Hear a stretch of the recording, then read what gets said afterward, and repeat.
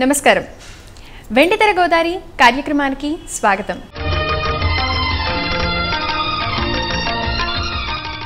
కుటుంబ కథా చిత్రాలు అనగానే మనకి ముందుగా గుర్తొచ్చే దర్శకులు ఎస్వి కృష్ణారెడ్డి గారు. గోదావరి నదిగొడ్డున పుట్టి పెరిగిన ఎస్వి కృష్ణారెడ్డి గారు ఆ గోదావరితో తనకున్న అనుబంధాన్ని మనతో పంచుకోవడానికి సిద్ధంగా ఉన్నారు. వారితో మాట్లాడదామా? నమస్కారం సార్. నమస్తే. ఎలా ఉన్నారు? సార్ గోదావరి నది ఒడ్డున పుట్టి పెరిగిన దర్శకుల్లో మీరు కూడా ఒకళ్ళు ఇక గోదావరితో మీకున్న అనుబంధాలు ముందుగా మాకు చెప్తారా? గోదావరితో ఉన్న అనుబంధం చెప్పాలంటే అమ్మ పాలతో ఉన్నంత అనుబంధం సింపుల్గా ఒక మాటలో. ఎందుకనంటే చిన్నప్పటి నుంచి ఊహ తెలిసిన దగ్గర నుంచి కూడా ఆ గోదావరి పాయ మా ఊరి మీద నుంచి వెళుతూ ఉంటుంది. అందులో ఈత కొట్టిన వాళ్ళం. దాని మీద నుంచే ఎదరికే రెగ్యులర్గా స్కూల్కి వెళ్ళాలన్నా రావాలన్నా ఎక్కడన్నా అది దాటవలసిందే. Okay okay. సో అందులోంచి ఒక వంతెన ఒకటి ఉండేది బాగా ఎత్తుగా. ఆ వంతెన నుంచి దూకేవాళ్ళం అందులోకి. గోదావరిలోకా? గోదావరి అంటే గోదావరి పాయ ఓకే, ఓకే. మీ ఊరికి పెద్ద- కాలువ అంటారు. Okay, okay. అది అక్కడి నుంచి ఒరిజినల్ గోదావరి నుంచి వచ్చి డామ్ నుంచి వచ్చినటువంటి ఒక పాయ అనమాట అది. మా ఊరి మీదుగా వెళుతుంది అది. Okay okay. సో అందుకని ఏంటంటే గోదావరి తోటి చాలా ఎక్కువ అనుబంధం ఉంది. ఇష్టం ఉంది. ప్రేమ ఉంది. ఓకే. ఇక పుష్కరాలతో అని ఎలాంటిది అంటారు? అంటే ఎప్పుడైనా పుష్కరాలు అటెండ్ అయ్యారా ఇంతకుముందు పుష్పాలకు అటెండ్ అయ్యాను. ఓకే. బాగుంటుంది చాలా ఇంట్రెస్టింగ్ ఇప్పుడంటే విపరీతమైన క్రౌడ్ తప్ప ఇంతంత క్రౌడ్ ఉండేది కాదు సరదాగా ఒక పెద్ద ఎగ్జిబిషన్ జరుగుతున్నట్టు అట్లాగే ఒక తీర్థం జరుగుతున్నట్టు ఒక బ్యూటిఫుల్ అట్మాస్ఫియర్ ఉండేది. సో వెళ్ళి స్నానం చేసి ఇంకా ఏరియాలో తిరిగి సో ఎంజాయ్ చేయడానికి వీలుగా ఉండేది. ఓకే పుష్కరాలు. ఓకే.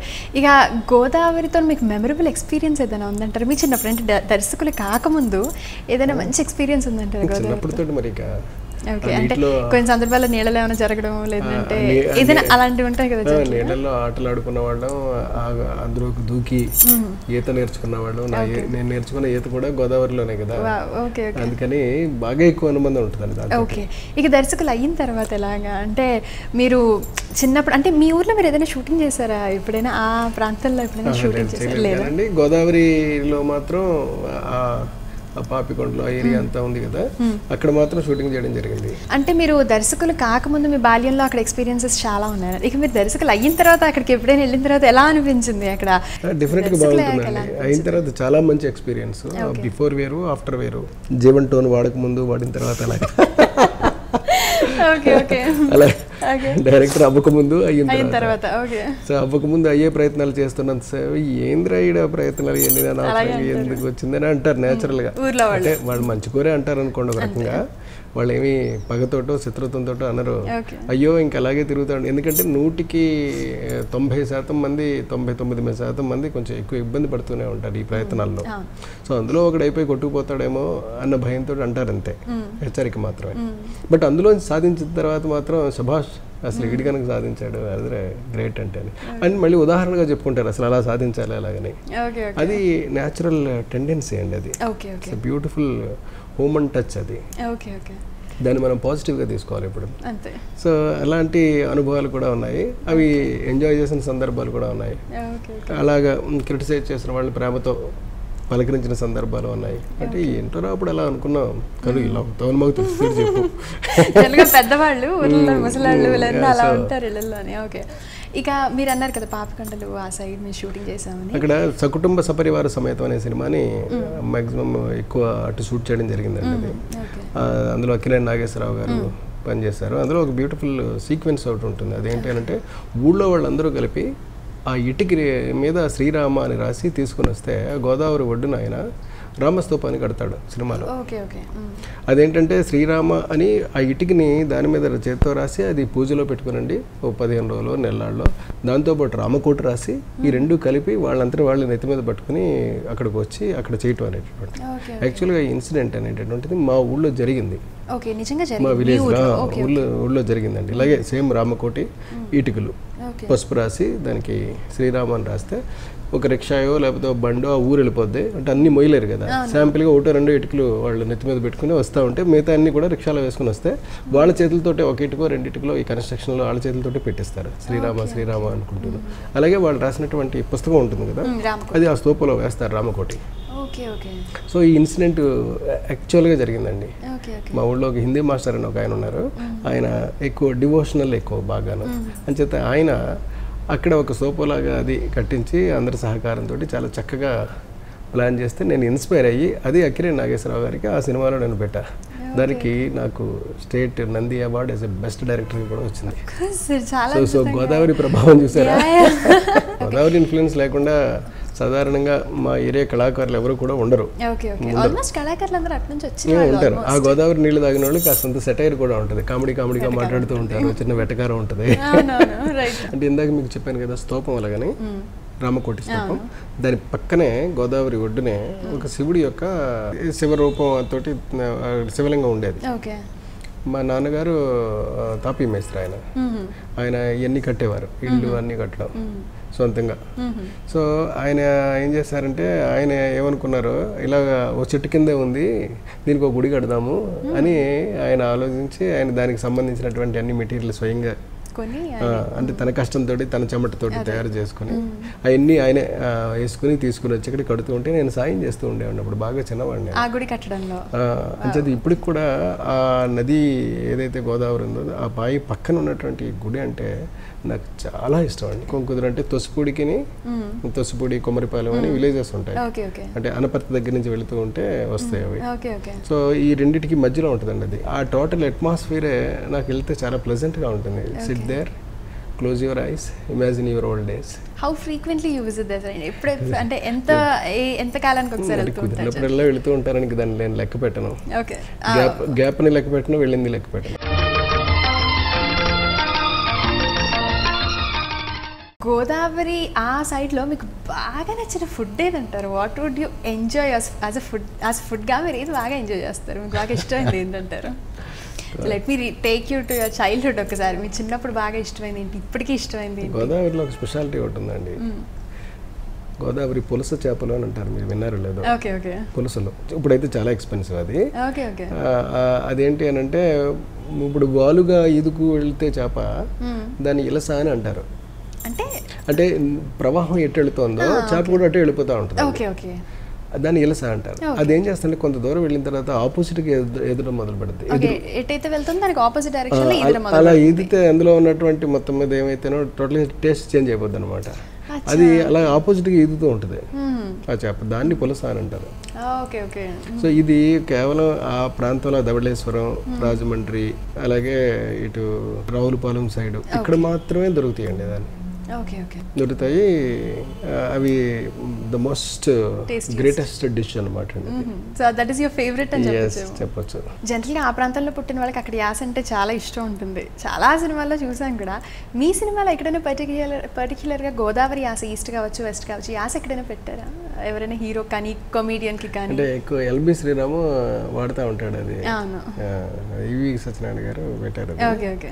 ఎల్బి శ్రీరామ్ మా సినిమాలో ఉన్నప్పుడు అంటే పెళ్ళాం ఊరిలితే కానీ ఇలాగ కొన్ని సినిమాల్లో ఆయన ఉన్నప్పుడు వేసి పెట్టడం జరిగింది అది. ఓకే. అలా కావాలని ఎక్కడెక్కడ పర్టికులర్గా పెట్టను నేను.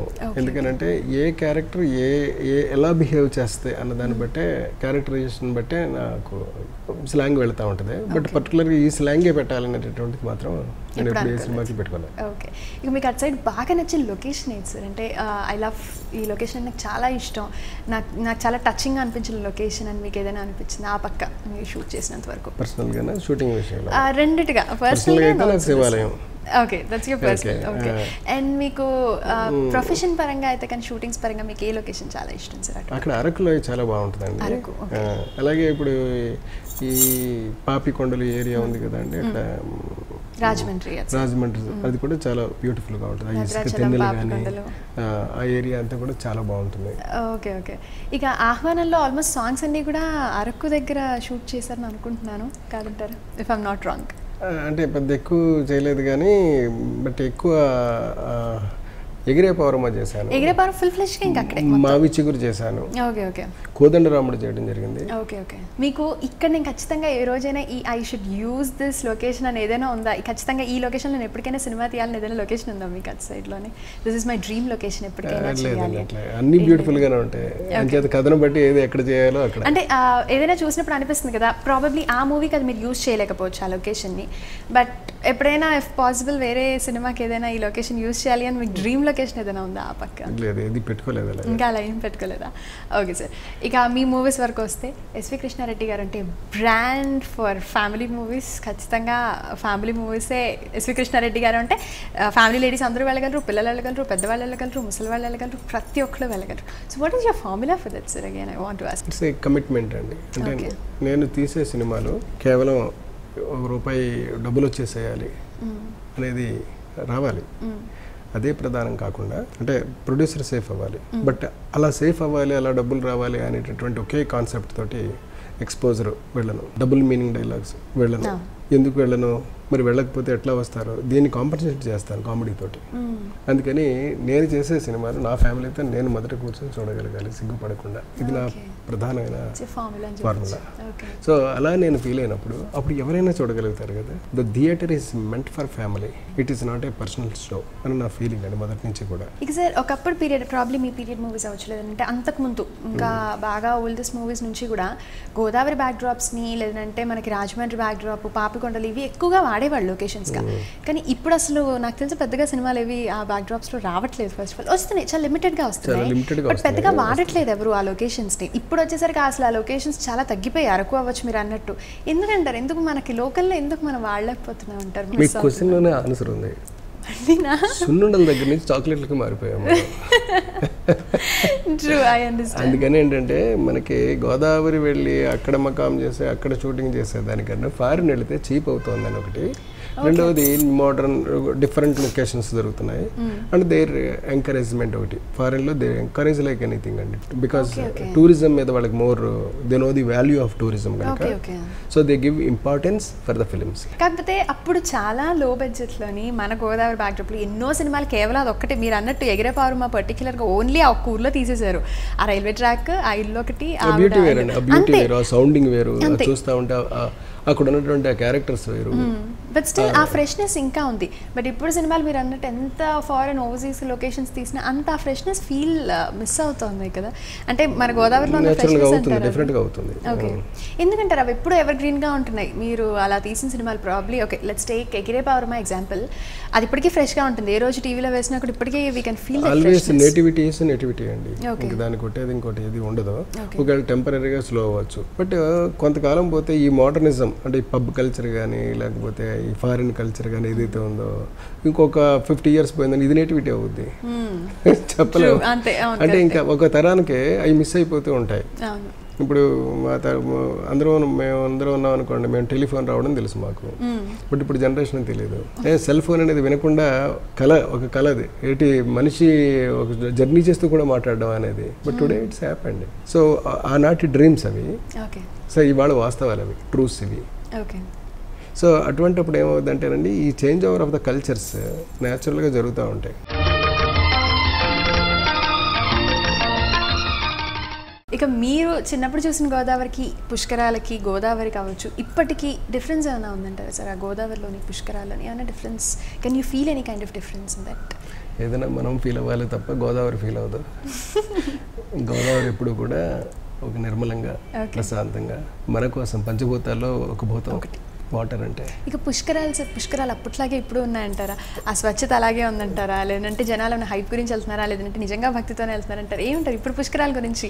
What would be your opinion about it it's individual question అండి. అంటే ఇది ఆయా వ్యక్తుల యొక్క ఇష్టాన్ని బట్టి ఆధారపడి ఉంటుంది. నేను ఫీల్ అయ్యేది ఏంటి అంటే you have to think about of the freshness and time ఇదే టైము గొప్పది అనేది మాత్రం కన్నా ఎప్పుడు నిరంతరం నీ కోసం ఒకే ఉద్దేశంతో అమ్మ పిలిచినట్టు పిలుస్తున్న పిలుపుకి సమయం ఏముంటుంది? ఏమో. నేను తప్పు అయితే ఆ తప్పు నాకు అంచేత కంగారు కంగారుగా వెళ్ళిపోయి మన టీవీలో చూస్తూ ఉంటే ఆ డోర్స్ ఏడిపోచ్చిందండి అయ్యయ్యో ప్రాణాలు పోగొట్టుకుంటున్నారే. పుణ్యం కోసం వెళ్ళి. అవునా? పుణ్యం ప్రాణాలు పోగొట్టుకున్నారనే బాధ చూస్తే. నేను చాలా ఫీల్ అయ్యాను. ఏదైనా మీరు ప్యూర్లీ గోదావరి బ్యాక్డ్రాప్లో తీసిన సాంగ్ కానీ సీన్ కానీ ఏదైనా ఉందంటారా సార్? అంటే ఓన్లీ అక్కడ మాత్రమే తీసాను అన్న సీన్ ఏదైనా ఉందా? పర్టికులర్ సీన్ మీ మూవీస్లో ఎక్కువ సాంగ్స్ ఉన్నాయండి అట్లా తీశారు. Okay, okay. సాంగ్స్ చేశాను అంతే Okay. పర్టికులర్గా సీన్ గోదావరి బ్యాక్ డ్రాప్ చేయలేదు. ఓకే ఏ సాంగ్స్ చేశారంటారు? అంటే ఫర్ ఎగ్జాంపుల్గా ఎలాంటి సాంగ్స్ అంటారు? ఆ, అది సకుటుంబ సపరివార సమేతంలో చేశాను. శ్రీకాంత్ మీద ఓకే సో అప్పుడు ఎక్స్పీరియన్స్ ఏమైనా ఉన్నాయా సార్ ఆ సాంగ్ షూటింగ్ అప్పుడు కానీ ఆ సినిమా షూటింగ్ ఆ- ఆ ఇసుక తెన్నెలు ఉంటాయి కదా అండి. ఓ వాటి మీద పరిగెడుతూ ఒకసారి వయసుని వెనక్కి తీసుకెళ్ళి ఓకే చాలా ఎంజాయ్ చేసి చేసాం అప్పుడు. చాలా బాగుంటుందండి ఇది. మరి ఎందుకు సార్ ఆ తర్వాత మరి ఎందుకు ఇంకా అంటే ఇంకొన్ని మూవీస్ ఎప్పుడు అంటే చెయ్యాలి అని అంటే ఒకటండి వరుసగా సినిమాలు వస్తూ ఉంటాయి. ఉన్నది చాలా కాస్ట్ ఫ్యాక్టర్ ఒకటి తర్వాత టైం ఫ్యాక్టర్ ఒకటి నీడ్ ఫ్యాక్టర్ ఒకటి ఇలా సబ్జెక్ట్ ఫ్యాక్టర్ ఒకటి ఇలా చాలా ఉంటాయండి. మనం ఏదో ఆ గోదావరి బ్యాక్డ్రాప్ వెళ్ళిపోయి చేసేద్దాం అంటే కాదు. అది గోదావరి కూడా ఒక క్యారెక్టర్ అయి ఉన్నప్పుడు మీకు ఎప్పుడూ అందంగా ఉంటుంది. శేఖర్ కమల్ గారు చేశారు. చూడండి ఎంత అందంగా చేశారు. సో అట్లాగా ఒక గోదావరి కూడా ఒక క్యారెక్టర్ అయితే మీకు డెఫినెట్గా చాలా బాగుంటుంది. పర్టికులర్గా మీకు గోదావరి బ్యాక్డ్రాప్లో వచ్చిన ఏ సినిమా అంటే చాలా ఇష్టం? యాజ్ ఎ డైరెక్టర్గా మీకు ఏ సినిమా చాలా ఇష్టం? ఇది కొంచెం క్రిటికల్ క్వశ్చన్ ఏం అనుకోండి మాత్రం కదండి చాలా ఏం తేలికైన. ప్రశ్న వేశారు అవును? అంటే చాలా మంది ఏంటంటే అబ్బా అవసరమా అన్నట్టుంటారు. సో వాట్ యూ ఫీల్ మీకు బాగా నచ్చిన సినిమా ఇది గోదావరి కదండి ప్రతి ప్రేక్షకుడు కూడా గుండె స్రవింపజేసినటువంటి సినిమా మూగ మనసులో అంతకు మించిన గొప్ప సినిమా గోదావరి బ్యాక్డ్రాప్లో ఓకే నేనైతే చూడలేదు. అంతకు ముందు నాకు తెలియదు ఆ తర్వాత నాకు నాలెడ్జ్ ఉన్నంత వరకు అంత గొప్ప సినిమా రాలేదు. మీరు అన్నట్టు అంత హార్ట్ టచింగ్ మూవీస్ మళ్ళీ రాగలవంటారా అంటే అంత ప్లేస్ తీసుకుంటుందని నేను అనుకోను. రాగలవంటారా ఇక మీరైనా? డెఫినెట్గా వస్తాయండి. ఎందుకంటే ఆల్వేస్ టైం రొటేట్స్ ఇది కాలచక్రం ఇది. గుండ్రంగా ఉంటుంది. ఇది పలకగా ఉండదు పొడవుగా అంతకన్నా ఉండదు. అంతే. మళ్ళీ అడతిరిగి ఇడతిరిగి అక్కడికే రావాలి. మళ్ళీ రావాలండి. హ్యూమన్ ఫీల్స్ అండి. మనిషికి ఉన్నటువంటిది ఏంటి? నవ్వినా ఏడ్చిన కన్నీళ్ళే వస్తాయి. ఆ కన్నీళ్ళు మనిషిలో ఉన్నంతకాలం నవ్వడం తప్పదు. ఏడవడం తప్పదు. ఈ రెండు అనుభూతులు పొందక తప్పదు. పొందాలి అంటే కావాలి. ఓకే. కావాలి అంటే ఉండాలి అలా సినిమాలు. ఆ తర్వాత పీరియడ్లో వచ్చిన మీకు బాగా నచ్చిన పాట కానీ గోదావరి బ్యాక్ డ్రాప్లో లేదంటే సీన్ కానీ సినిమా కానీ this scene was outstanding Godavari Bapu గారు తీశారండి సినిమా ఒకటి. ఓకే అందాల రాముడిలో ఒక పాట ఒకటి ఉంటుంది. అవును సార్. అంటే హీరో హీరోయిన్ మధ్య కదా? చాలా ఎక్సలెంట్ పాట అదంతా కూడా ఇక టోటల్గా గోదావరి బ్రాక్టాప్ లాంచ్ మీద వెళ్తుంటే మనకి ఆ లాంచీలో ప్రయాణం చేస్తున్నంత ఫీలింగ్ ఓకే ఏదో పిక్నిక్ వెళ్ళొచ్చిన మనం కూడా జర్నీ చేస్తాం. అద్భుతంగా చేశారు. అంటే మీరు ఎప్పుడైనా ట్రై చేశారా సార్? అంటే అలాంటి టైప్ ఆఫ్ ట్రిప్స్ ఎప్పుడైనా మీరు ట్రై చేశారా? మీ లైఫ్ టైంలో ఎప్పుడైనా అలా భద్రాచలం పాపకొండ బోట్ మీద వెళ్ళడం?